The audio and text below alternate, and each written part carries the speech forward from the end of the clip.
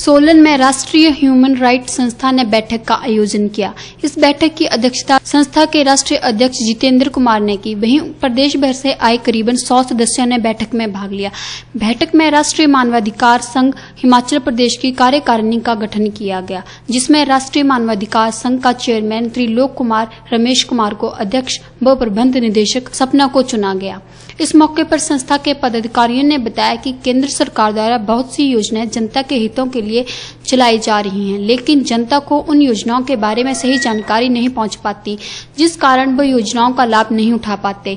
इसलिए उनकी संस्था लोगों को जागरूक करने के लिए और उन तक केंद्र सरकार की योजनाओं की जानकारी उपलब्ध कराने के लिए मानवाधिकार संस्था का गठन कर रही है और उन्हें अपने अधिकारों के प्रति जागरूक करने का प्रयास कर रही है। हम लोगों का जो मुख्य उद्देश्य है, वो ये है कि हर मानव को वो अधिकार दिलाना चाहते हैं, जो हमारे संविधान ने हमें दिया है। यहाँ पे बहुत सारी योजनाएँ हैं। बहुत सारे चीज़ें हम लोगों को प्रोवाइड की जाती है गवर्नमेंट की सारी। लेकिन गवर्नमेंट की सारी चीज़ों को हम लोग मुख्य रूप से नहीं ले पाते हैं। इसकी कमी ये नहीं है कि गवर्नमेंट में कमी है। कमी हम सबों में है क्योंकि हम लोग अपना राइट्स नहीं ले पाते हैं। हम लोग अपना राइट्स नहीं जान पाते हैं। हम लोग अपने राइट्स के बारे में मुख्य रूप से अगर जान ले और उनको ले ले तो हम लोग पूर्ण रूपेण संपन्न हो जाएँगे और किसी भी तरह की कोई कमी महसूस नहीं करेंगे।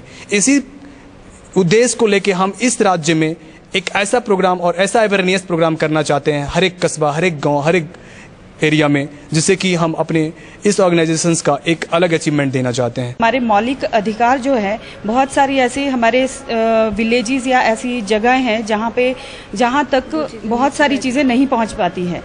गवर्नमेंट हमें बहुत सारी चीज़ें जो है हम उपलब्ध करवाती है, बट हम तक हम तक नहीं, गाँव में बहुत सारे ऐसे विलेजेस हैं जो अभी भी इनसे टच में नहीं है सर अभी भी उनको वंचित है सर इन सब सुविधाओं से।